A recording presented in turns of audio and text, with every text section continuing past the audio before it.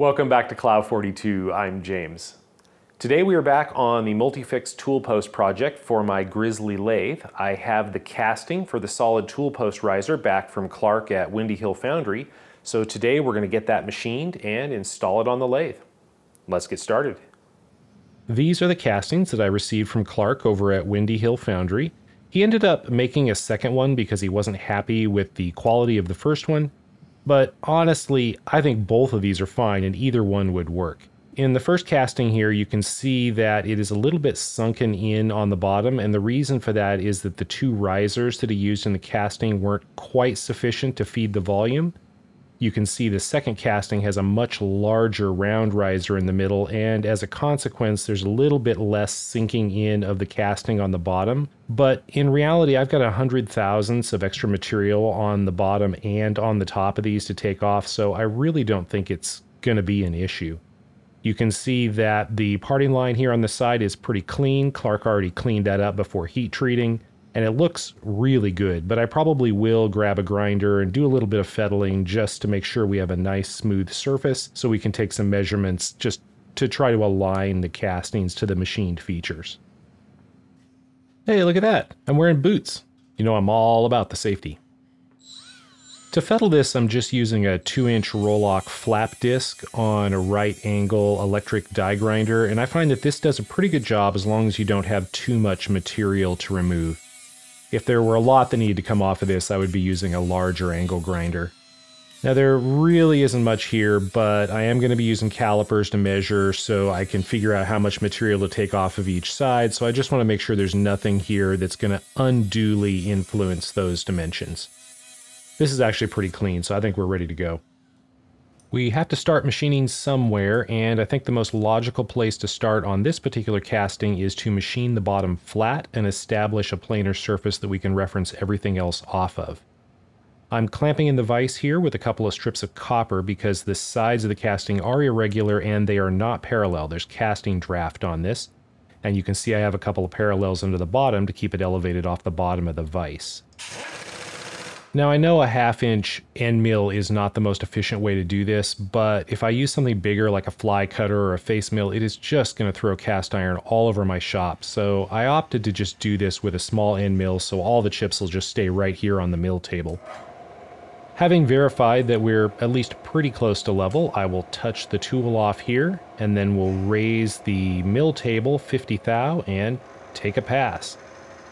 I really was not sure how this was going to behave. I was worried there might be hard spots in the casting or that my work holding might not be rigid enough, but none of that ended up being a problem. This thing just cut like butter. It did not complain. It just sliced right through.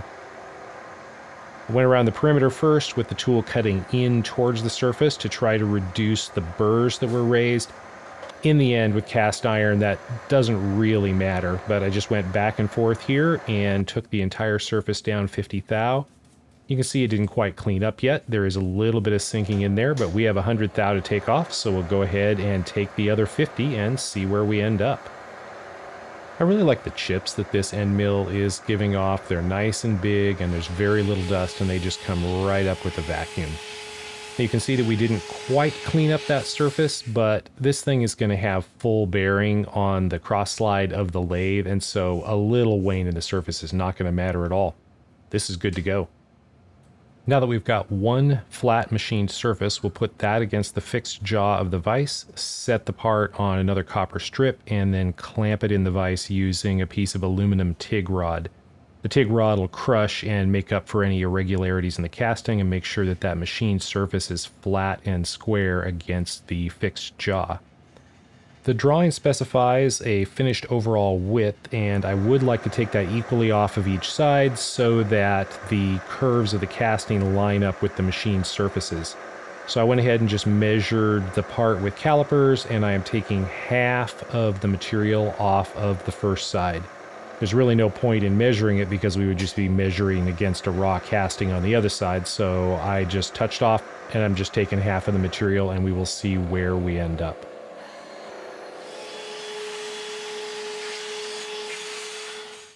Now that we have a second machine surface, we'll put that down on the bed of the vise and clamp it back in here, still with the aluminum rod since the top is not machined yet. And now that we actually have the one side machined, we can start taking measurements to come to our finished dimension. I'm using a height gauge here, just sitting on the bed of the matched vise here on the other side, and that will allow me to very easily take measurements of the height of this workpiece, and I will just whittle it down until I get to the dimension on the drawing.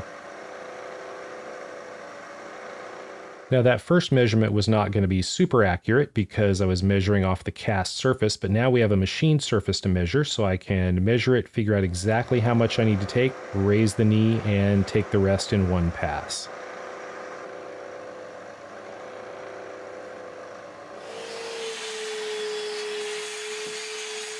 I'll take one final measurement, see how we did. The final dimension is supposed to be 3 inches 780 and it looks like we are one thou under, 3 inches 779. That is going to be just fine for this application. Now that we have two parallel machined sides on this, we can just go ahead and clamp the workpiece in the vise like we would any other piece of stock on top of a set of parallels. And note that I have one end of the part sticking out past the end of the vise jaws so that I have access to machine that in this setup. Just measure the overall thickness with a 4 inch caliper uh, pro tip, the 4-inch caliper will fit underneath the head of the milling machine, so that can be super convenient for applications like this. I know about how much I need to take off, so I'll just take half of that in the first pass here. And I have dispensed with being timid now that I know I have solid work holding and I can see what this end mill can do. In fact, it could probably go quite a bit faster than this. Now I do want to leave about 5 thousandths of an inch excess material on this so that I can grind it later if I want. So I'll just take one more measurement, add on my 5 thou, and take the rest of the material in another pass.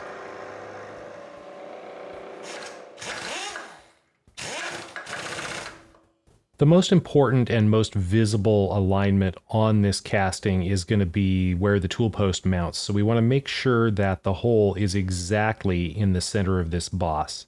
So I'm just using my wiggler here and I'm moving this around by eye and trying to line up and find the exact center here. This is a little bit fiddly of a process. Now the top of this isn't necessarily exactly round, at least I don't want to assume that. So I'm checking the front and the back, and I'm checking the two sides to make sure that they're even. And then once I get that to the point where I think it looks even by eye, I'll bring in a dial indicator and just go ahead and run this around. And it turned out I was within a thousandth of an inch just by eye with the wiggler. I really didn't need to use the indicator at all. Now that I've got the DRO centered up where that bolt hole is going to be, I'll go ahead and center up the wiggler and use it to probe the end dimensions where I intend to machine the casting, and just make sure that those line up with the curves of the cast surface where I expect them to. And these look pretty good. So let's get rid of the wiggler, bring in a drill chuck, and make a hole.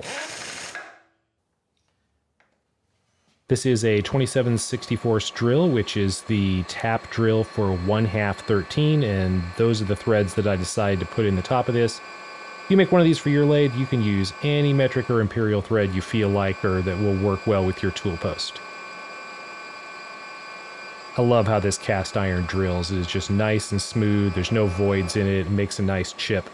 It's just a pleasure to work with. Messy, but a pleasure to cut. Now I'm just going to go ahead and power tap this half 13. The mill has the capacity to do it. I might as well. This is a three flute spiral point tap. So I went ahead and drilled the hole all the way through the casting so I can just push this in. It'll push the chips right out the bottom of the hole with no drama at all.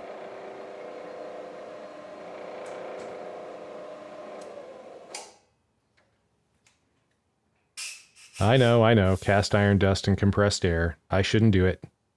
But I did.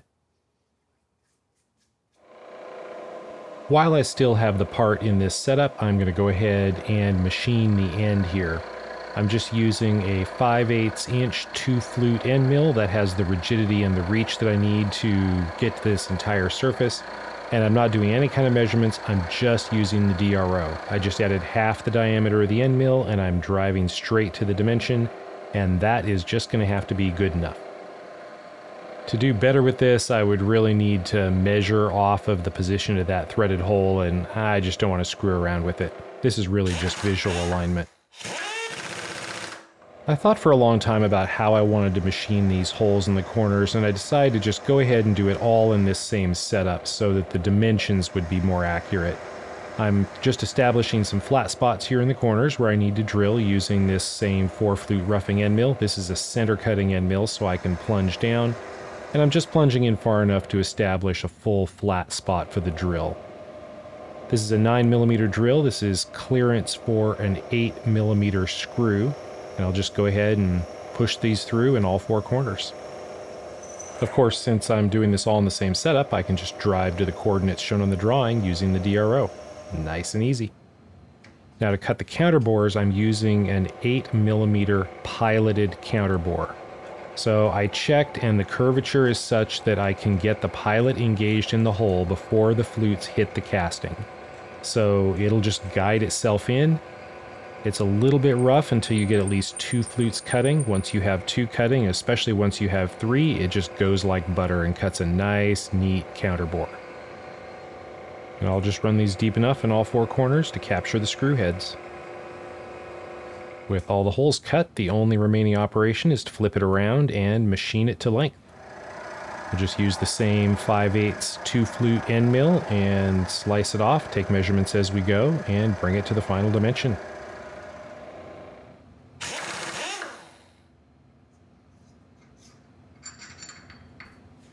Let's see if it fits on the lathe. This is the 3D printed prototype that we started with.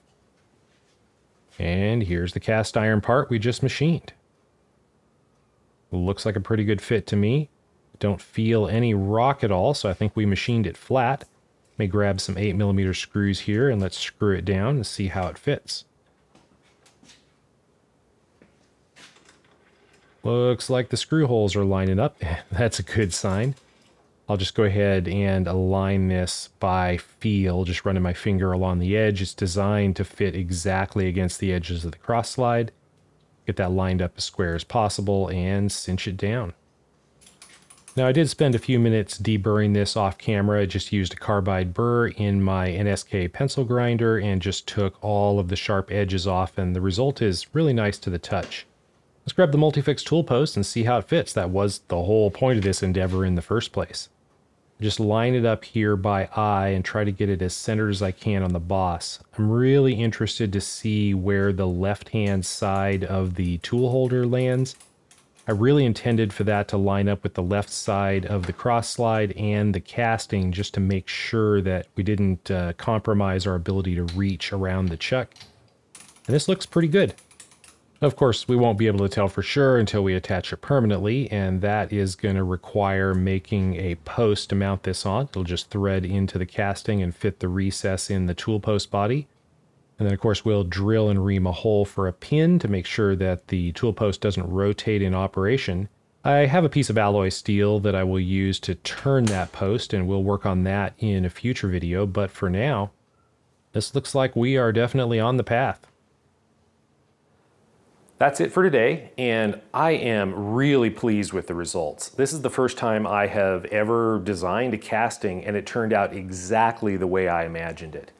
Now I got a comment on the pattern making video telling me that I could have just put a block of material in the chuck on the lathe, used the compound to turn a conical feature on it, boom, tool post riser done. And that I wasted a whole bunch of time and money messing around with CAD in the computer and 3D printing and metal casting when there's a much better way to do it. And while I'll admit that putting an eight pound hunk of steel off center in my small lathe would have comedic value, I didn't waste my time. I enjoyed every minute of it. And I got something in the end that I'm truly proud of that will make me smile every time I use it. And that's why I do this. If you also enjoy wasting time and money on stuff like this, let me know about that down in the comments. I've had a couple of people ask me if I'm gonna make these castings available. I've been talking to Clarke over at Windy Hill Foundry, and that is absolutely something that we can do if there is enough interest. So let me know down in the comments. Thank you for watching.